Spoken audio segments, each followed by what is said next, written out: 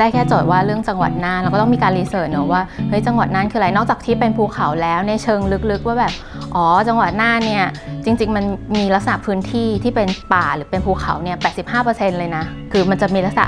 ป่าทึบผสมกับป่าที่เป็นพวกเกษตรกรรมค่ะแล้วก็มีอีกอันคือแบบเหมือนลักษณะที่ถ้าเกิดเข้าไปลึกๆ จริง ๆ มันจะมีลักษณะที่มันเป็นความแบบเทพนิยาย อยู่ในนั้น อยากหยิบทั้ง3 concept เนี่ยให้เห็นว่ามันมีทั้ง step ใกล้ step ไกล step กลางของลายอะไรอย่างเงี้ยค่ะ ก็อยากจะหยิบมาแต่บางทีมันพอมันต้องมาคือคล้ายๆมันมันเป็น concept ที่กว้างอยู่นะแบบ concept ideal เลยว่าเราอยากได้แบบนี้ แต่พอเรามาจับกับเทคนิคที่มันเป็นเทคนิคการผลิตของเสื่ออะไรเงี้ยมันอาจจะต้องมีการลด detail หรือลดทอนอะไรบางอย่างไป เพื่อให้มันสามารถ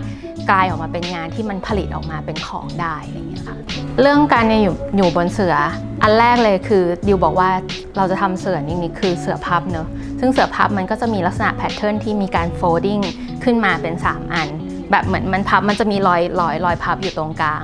ไอตัวเนี้ยก็จะเป็นข้อจำกัดอันหนึ่งที่มันมีส่วนกับลาย pattern ที่เราจะออก ดังนั้นน่ะเสื่อของเราในรอยพับอันนี้เราเราคิดว่าเฮ้ยถ้ายังไงทำให้มันแบบเหมือนลักษณะของงาน patchwork ไหม คือทำเสื่อให้มันดูเป็นแบบ patchwork มันคือการประติดประต่อ รูปภาพจะไม่ใช่ภาพเดียว ภาพใหญ่ภาพเดียว มันจะกลายเป็นภาพเล็กๆ ต่อกันเหมือนจิ๊กซอว์หรือมันเป็นงาน patchwork อะค่ะ พอเรากลับไปที่กราฟิกเขาว่าเราจะหา motif ภูเขายังไงที่มันจะดูแบบ ดูไม่แบบไม่แข็งจนเกินไปคือถ้าให้เราวาดอะวาดคงไม่ได้อย่างนี้ก็เลยลักษณะของพยายามหา motif ภูเขามาก็คือใช้การฉีกกระดาษเพื่อให้มันได้ได้เส้นที่มันดูเป็นธรรมชาติ คือจริงๆสำหรับตัวนี้เนี่ยเลือกสีสีมา สีแรกที่เลือกเลยสีเขียว เพราะว่ามันเป็นภูเขามันเป็นป่าอย่างน้อยมันต้องมีสีเขียว คือหลักๆอะเริ่มจากสีเขียว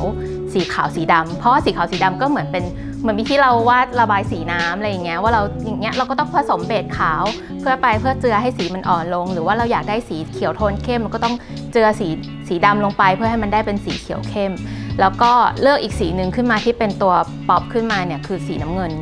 เพราะว่าจริงๆคิดคิดว่าสีน้ำเงิน พอมันเอาไปผสมมา มันก็จะได้เฉดอีกเฉดหนึ่งของความเป็นแบบ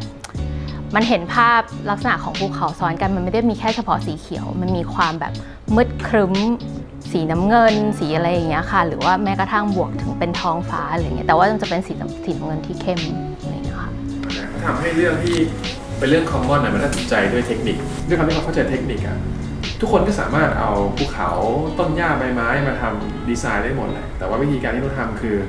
เขาเขาเขารู้ว่าจะอธิบายวิธีคิดเนี้ยด้วยเทคนิคการผลิตแบบนี้ยยังไงยังไงยังไงอะไรเงี้ยมันทำให้ได้งานออกมาแล้วมันสำหรับผมมันค่อนข้างพิเศษนะ